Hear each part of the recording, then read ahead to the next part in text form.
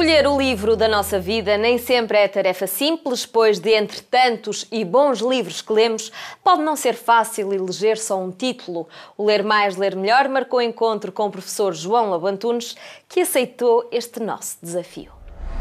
De facto, quando eu penso nos livros que marcaram, eh, e admito que, enfim, se tiver mais alguns anos de vida, que este horizonte se vai alargar e que verei outras descobertas, eh, eu penso que, em primeiro lugar, uh, há livros que eu li uma vez e que gostei tanto que tive medo de os voltar a, ver, a ler. E, portanto, a esses eu não vou voltar.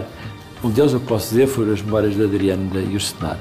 Depois, uh, há aqueles que são os clássicos. E os clássicos são os que passaram o teste do tempo.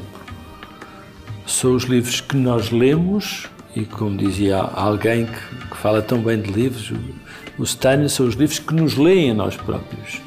E eu tenho que contar basicamente dois, o Dom Quixote e Guerra e Paz.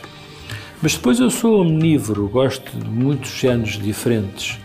Um, e, portanto, eu não podia deixar de falar nos contos. O conto tem uma maneira de ler própria. Uh, uh, não se pode ler mais de um ou dois seguidos.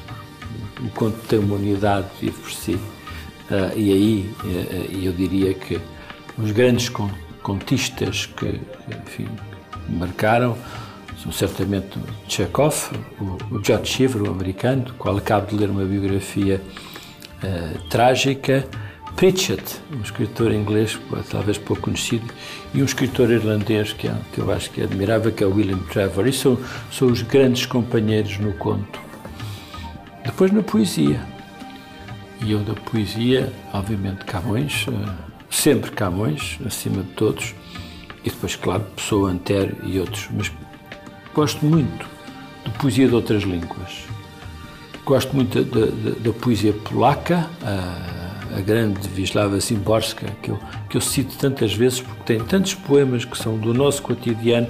É um tesouro pedagógico mas gosto também da boa prosa, da boa prosa portuguesa. Pegar em nacos de, de, da escrita de Herculano ou de Oliveira Martins ou de Garretti. Agora, finalmente, chegamos ao, ao, à escolha difícil, que é o livro da minha vida. É o livro ao qual uh, recorro com alguma frequência, ao qual regresso com alguma frequência uh, e, curiosamente, descubro sempre coisas novas. E estou, evidentemente, a falar nos maias. E estou a falar nos maias porque, além da beleza da escrita, que essa tem, além, da, além do, do talento, não sei se tem gênio, de, de, eh, porque a distinção entre uma coisa e outra é um diagnóstico arriscado e, a meu ver, completamente inútil, é que é tão português, fala tanto do que nós somos como povo, das, aquilo que uma vez disse, das nossas qualidades que são quase defeitos e dos nossos defeitos que são quase qualidades é uma situação romântica, eh, é uma situação do, do, do último tabu, que é, no fundo, o tabu do incesto, eh, eh,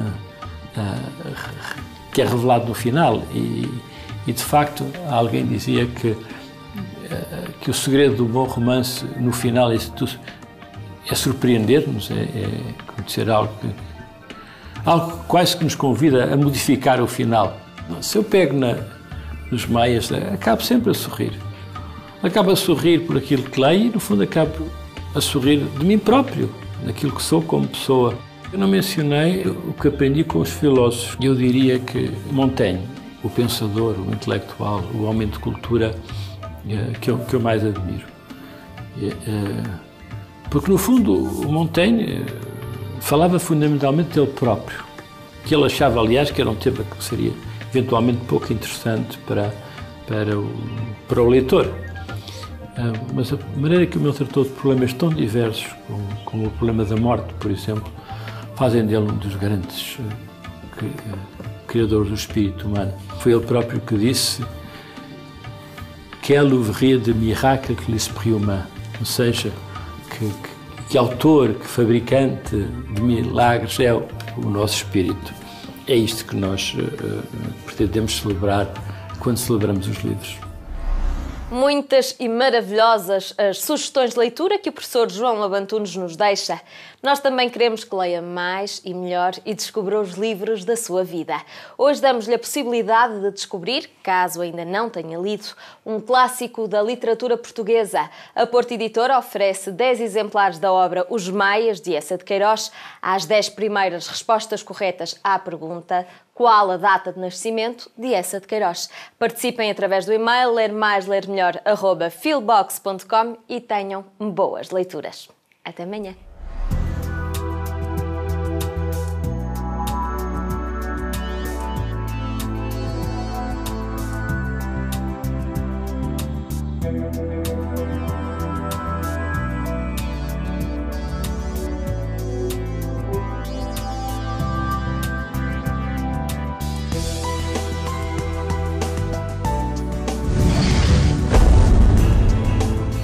Programa apoiado pelo Plano Nacional de Leitura.